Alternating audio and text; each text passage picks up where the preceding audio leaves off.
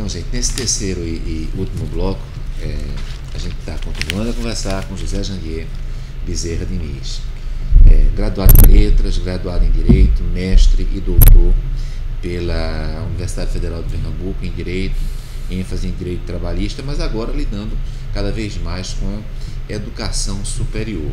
E aí eu quero é, é, conversar um pouco com o, o Janguier, que está à frente de associações, não é? Associações universitárias, associações que lidam com a educação superior, associações nacionais. Eu vou perguntar para o Janguier como é, como foi é, é, é, lidar com um Brasil que estava em franco desenvolvimento, não é? que estava com números muito positivos e com o Pernambuco também é assim, e agora onde a economia defluiu. Não é? Qual é a diferença, não apenas do, do ponto de vista do teu grupo, mas como é, um líder de associações universitárias, qual é a diferença entre as vacas gordas e as vacas magras? É, o Brasil está passando por uma crise, eu acho que sem precedentes. Né? Uma das maiores crises que o Brasil já passou nos últimos, eu acho que nos últimos 100 anos. E isso traz sérias consequências. Né? E a origem dessa, dessa crise econômica? Eu acho que você sabe muito mais que eu. O que deu origem foi a crise ética, que por via de consequência deu origem à crise política, que originou a crise econômica. Certo. Se não tivéssemos passando por um problema ético, como estamos passando com a questão do, do da, dessas propinagens aí, propinoduto, né, que a gente. Não, o Congresso Nacional não teria eh, passado por uma crise política, o Brasil não, não, não estaria passando por uma crise política que tinha dado origem à crise econômica. E a crise econômica traz várias consequências, dentre elas, é, é, a mais importante que eu acho é o desemprego. Né?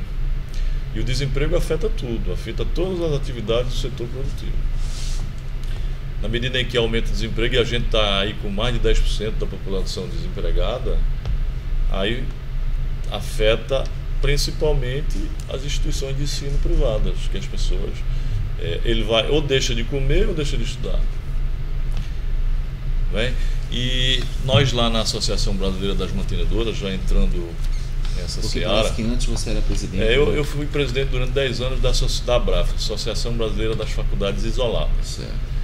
E agora eu disputei, agora no início do ano, a presidência da BMS, que é a mais importante associação de mantenedoras de universidades do Brasil. Certo. Associação Brasileira das Mantenedoras de Ensino Superior, a BMS, que durante muito tempo foi, foi, foi presidida por Dr. Gabriel, que era de São Paulo, que é o fundador da Anhembi Morumbi, tá. Gabriel Mário Rodrigues, um paulista, fundador da Anhembi Morumbi, que hoje é o presidente do Conselho Lacroto. E que ia, ia ter duas chapas na época, a minha e a dele, mas ele resolveu depois, a gente fez um acordo e, e fizemos uma composição. Ele foi para o Conselho de Administração da associação e eu assumi a presidência. Mas o objetivo da BMS é lutar pelo, pelo em primeiro lugar, pelo ensino superior de qualidade, ensino superior privado de qualidade mas lutar pelos direitos e interesses das instituições privadas de ensino superior, quer seja faculdade, quer seja centro universitário, quer seja universidade. E a gente, de uma forma mais forte, mais combativa, é, lutar pelas prerrogativas da livre iniciativa constitucionalmente garantida. A livre iniciativa na área do ensino superior, que, que são as instituições de ensino privado. E a gente começou há um mês e temos já é, implementado já a nossa, nossa política de medidas defesa. concretas, quais seriam as medidas? É, a gente, é, é, a gente fizeram parte da minha plataforma 15, 15 itens. Primeiro, descentralizar, né? Descentralizar a BMS que ficava muito só lá em Brasília. Então a gente quer criar cinco unidades regionais, uma aqui no Nordeste, outra no Centro-Oeste, no Sudeste. Segundo, tentar unir o setor, porque como existe muitas associações, tem mais de 10 associações, tem a das faculdades, tem a das universidades, tem a das mantenedoras, que é mais forte a maior, tem a, do, do, do a das comunitárias, tem a, a, FENEP, por exemplo. Então a gente quer fortalecer o setor com a união do setor. Isso é uma meta, uma das principais metas. Segundo é defender os direitos da, das instituições de ensino superior, inclusive a nível judicial. Porque o que acontecia na gestão anterior é que o poder público às vezes expedia é, institutos normativos prejudiciais e até inconstitucionais que, que afrontavam os direitos e interesses das instituições de ensino superior privado e ninguém, ninguém entrava com a medida judicial. Pragmatiza isso. É, por exemplo, uma medida, uma medida, uma medida através de uma resolução que, que, que cheira, beira a inconstitucionalidade que ofende os direitos das instituições privadas, né? Uma medida casuística. E o, a, a direção anterior não tomava medidas judiciais, Teve nunca entraram com caso, ação na justiça contra o MEC, por exemplo. Teve algum caso assim, paradigmático que a gente eh, possa destacar? Ah, tiveram vários, né? Mas estou tentando me lembrar. É, vou me lembrar com, ah, tá com passar e a, tá e a gente. Perfeito. Bom, mas Por aí, exemplo, vou, claro. é, é, os conselhos, os conselhos de classe, os conselhos de, de conselho de contabilidade, conselho de enfermagem, os conselhos de classe. Pela lei, esses conselhos eles são responsáveis pela atividade profissional. Apenas quando o aluno sai, pega o seu diploma e vai fazer o registro, aí sim, aí está afeto é, passa a, a, fazer parte daquele conselho e o conselho tem responsabilidade profissional. Mas o conselho fica se intrometendo nas grades curriculares que é de competência do MEC. E isso a gente vai entrar fortemente agora, porque quem tem competência para legislar, para, para cuidar das grades, do, do, do modo de educar, de como, como é o currículo de, de um curso, é o MEC. Não é o conselho, mas o conselho fica tentando participar. Eu acho que isso a gente tem que tomar medidas, inclusive judiciais, se for necessário. Aí eu te pergunto dentro disso. Os Estados Unidos, eles têm também universidades privadas. Aliás, nos Estados Unidos são as mais fortes. Agora, costumam ser fundações. É?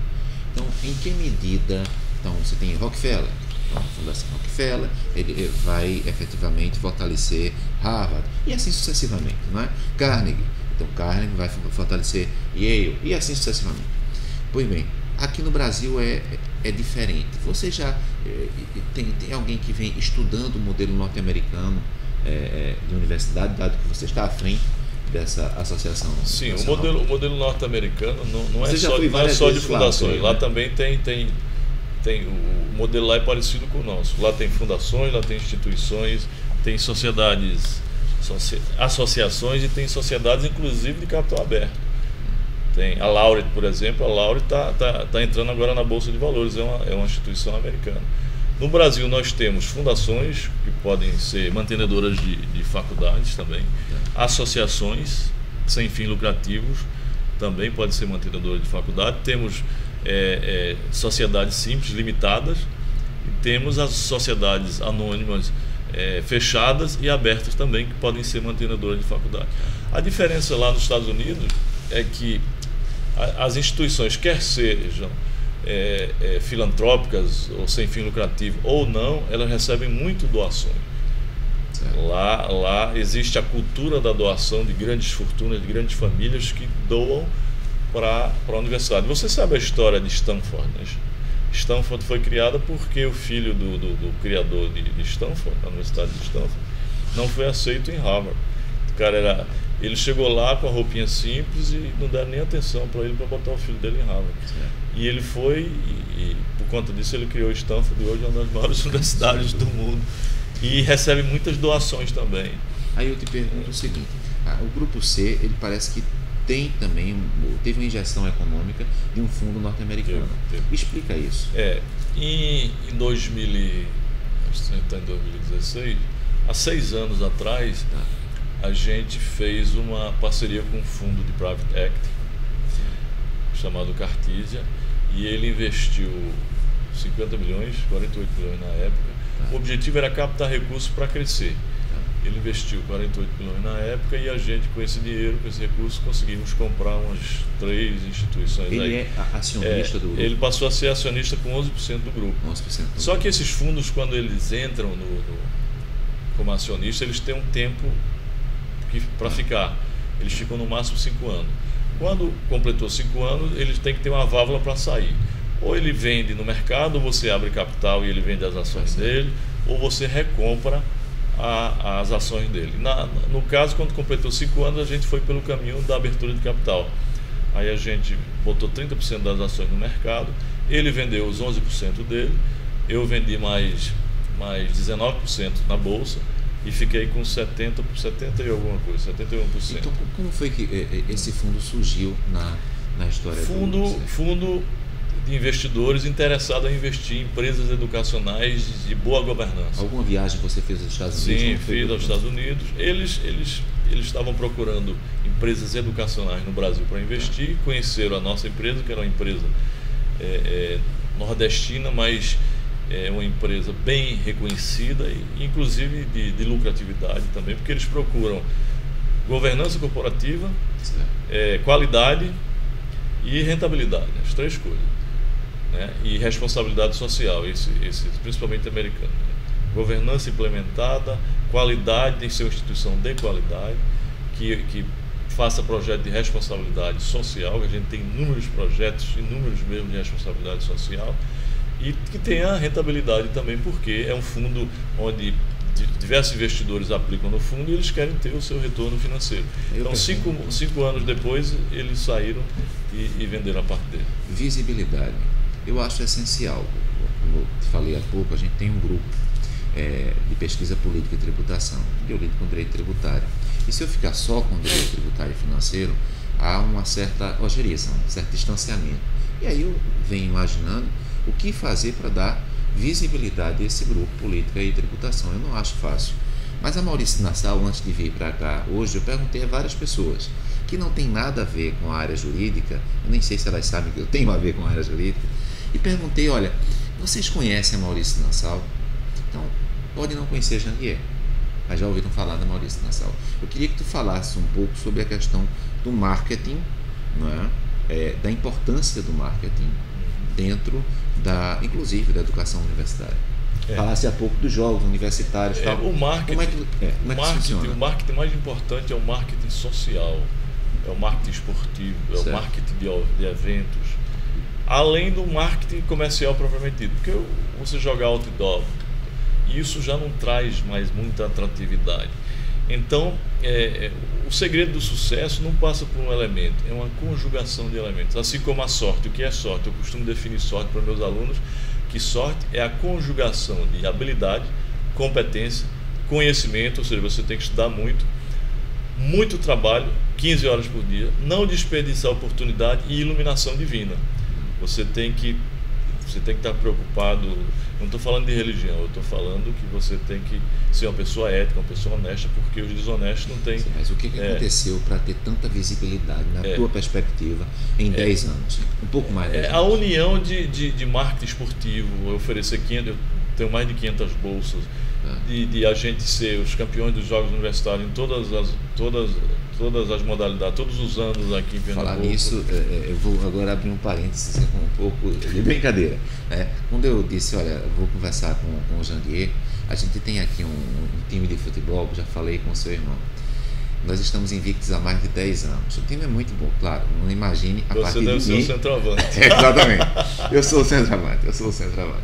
E ele disse, olha, convida o pessoal lá do, da Maurício Nassau, porque eles têm certeza é a, a, a, digamos assim, a meninada aqui, aqui ao redor, mas que joga muito bem, né? E queria muito participar aí de uma, se tiver um espaçozinho, nesses parentes, para jogarmos uns contra os outros. Vamos, vamos, vamos pensar nisso. Eu, eu ah. Você já até me convidou para jogar, Verdade. mas já faz muito tempo que eu não jogo. Eu estou jogando voleibol, vôlei de praia, certo, né? Jogo há muitos anos. Aí, mas aí voltando, é, é, a visibilidade é em decorrência de uma série de coisas que a gente faz. A gente faz muito, tem a parte esportiva, a gente faz muitos congressos. Quem, o maior realizador de congressos antes era só, só jurídico. Você já participou de vários congressos nossos jurídicos. Verdade. Mas hoje a gente tem o maior congresso de administração do Brasil, a gente faz, o maior congresso de engenharia, de saúde. É, é... De medicina não é fácil. Então, né? de saúde, então isso dá muita visibilidade. Vem certo. gente do Brasil inteiro participar dos congressos. Aí a gente tem vários projetos de responsabilidade social, na sala, na comunidade. É, aquela questão de cadeira de rodas na praia, aquele projeto é nosso. É, a maratona, a maratona Uninassal, A maratona Maurício de Nassau é nossa. Então são uma série de elementos que vinculados a questões de responsabilidade social e esportiva e de eventos faz com que uma instituição se fortaleça, a marca fique fortalecida. E todo mundo lembra dela, pô, é aquela instituição. É, aí volta. E a qualidade? A qualidade tem que ter, é necessário. Além de ser uma instituição de qualidade, ela participa em, em esporte, em eventos, isso então algo que agrega a marca e é o que a gente tem feito e tem dado certo. Maurício de Nassau, é, retirar-se, claro, é, eu acho que hoje em dia as pessoas conhecem mais. Ah, Maurício de Nassau, faculdade, centro universitário, do que o próprio Maurício de Nassau. É verdade. É verdade? Então, Quando eu criei a, a Maurício Nassau, eu queria homenagear uma figura que fosse importante, tivesse a cara de Pernambuco. Certo. E aí eu fiz, eu mesmo fiz uma pesquisa empírica. Aí eu comecei a conversar com as pessoas.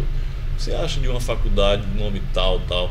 Aí eu usei, eu usei Frei Caneca, eu usei Gilberto Freire, certo. eu usei vários nomes, mas Maurício de Nassau foi o nome mais aceito e de menor rejeição. Porque eu não queria Mas criar. Queria, uma pesquisa tua ou foi uma pesquisa? Minha, não, eu mesmo. Ah, eu certo. mesmo. Tá. Saí conversando com as pessoas. Tá não foi uma pesquisa científica. Eu que. Eu mesmo. Saí conversando, conversando, conversei com mais de 100 pessoas.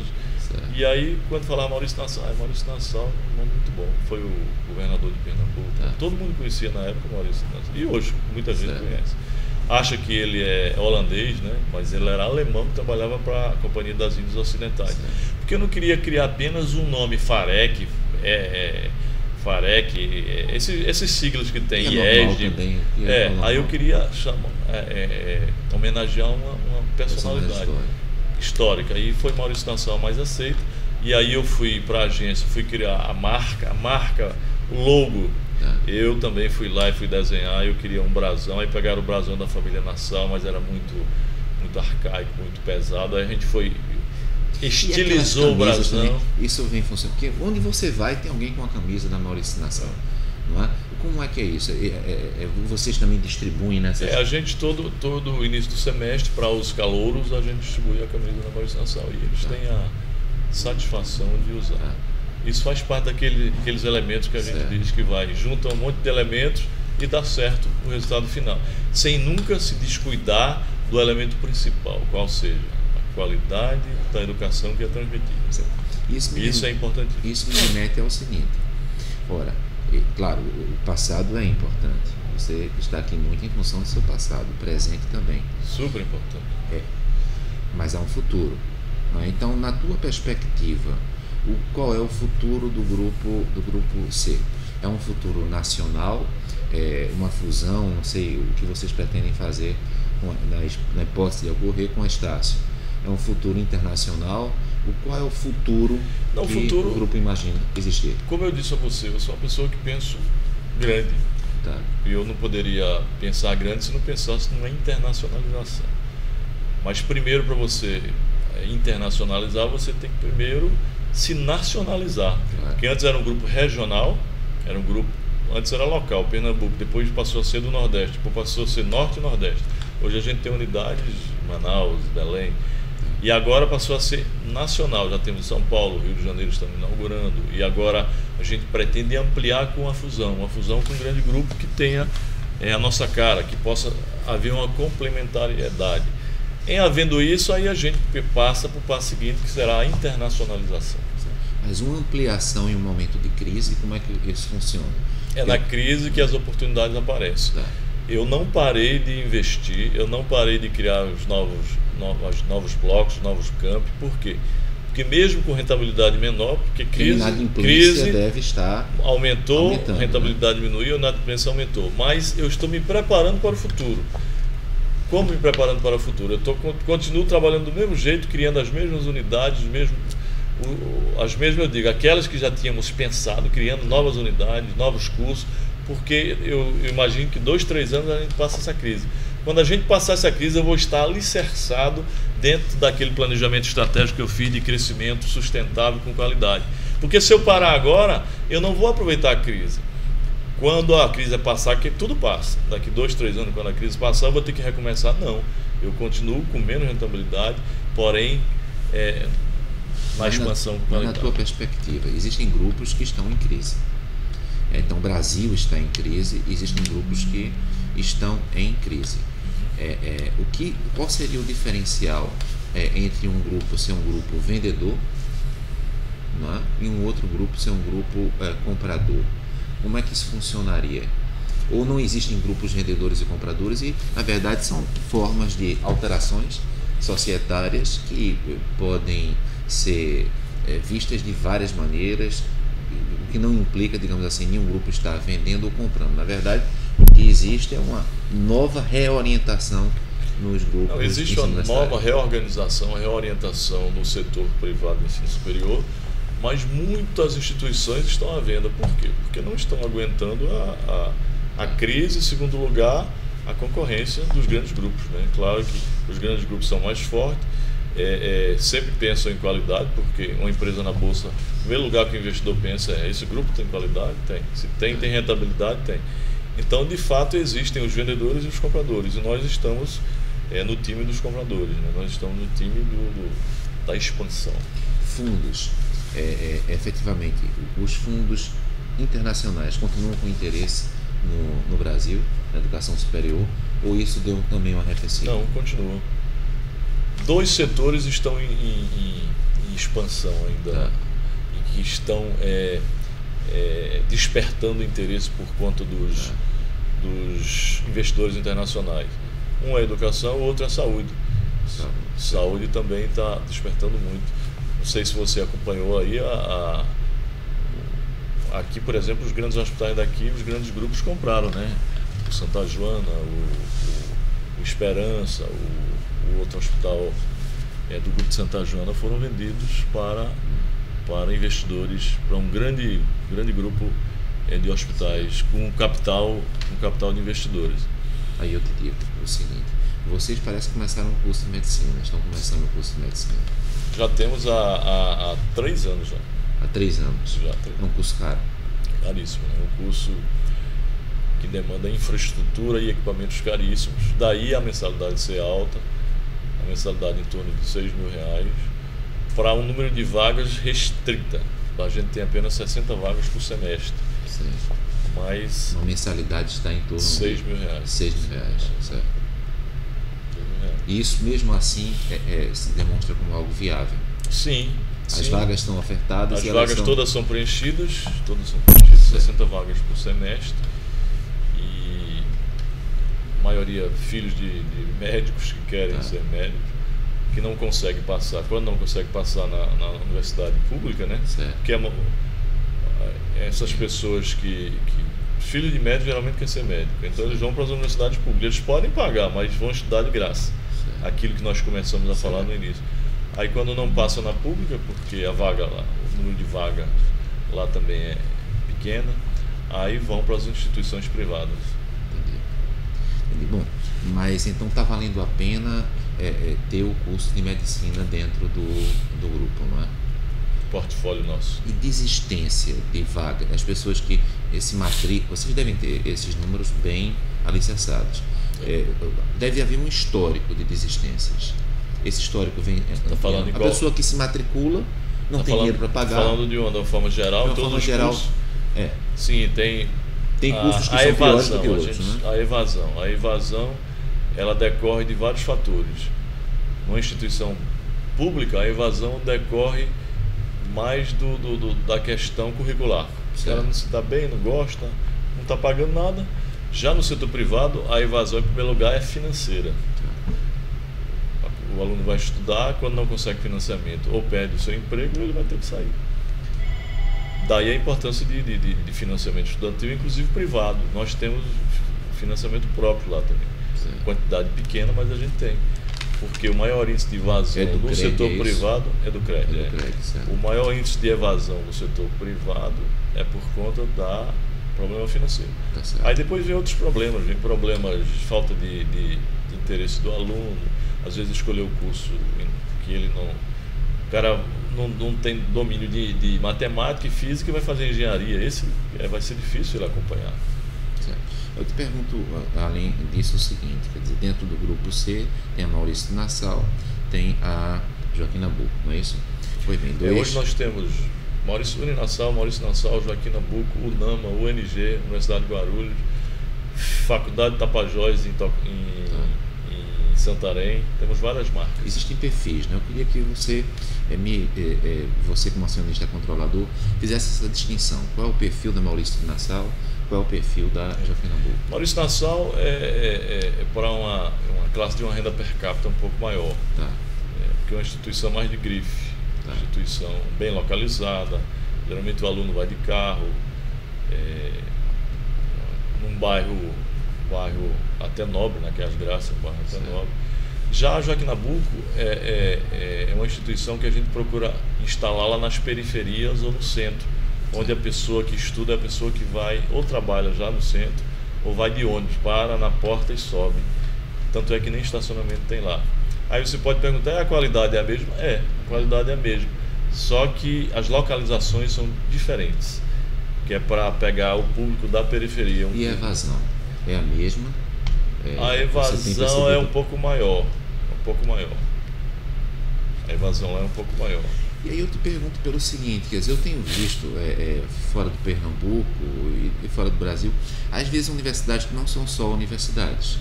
É? Então tem lá o, o curso, é, o, curso o, o, curso de formação universitária, enfim, mas também tem lojas, até a universidade dentro de shoppings. Parece que você também tem, a, a Joaquim Nabuco também tem lojas dentro da.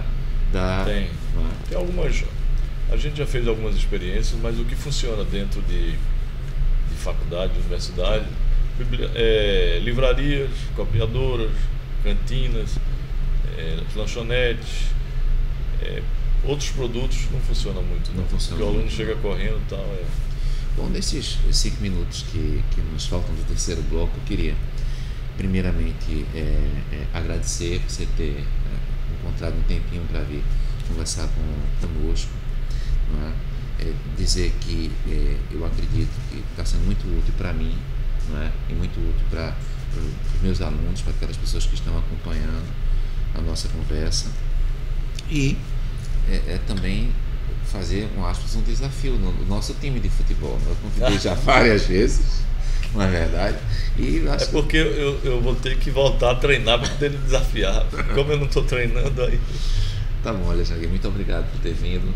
Então, eu que agradeço, é uma satisfação muito grande estar aqui com você, falando de algo que, que eu estou fazendo ultimamente e gosto muito, que é educação, né? educação é. em especial educação superior. Educação superior e empreendedorismo são temas que eu certo. gosto muito de, de trocar ideias. Tá bom. Obrigado por vocês também.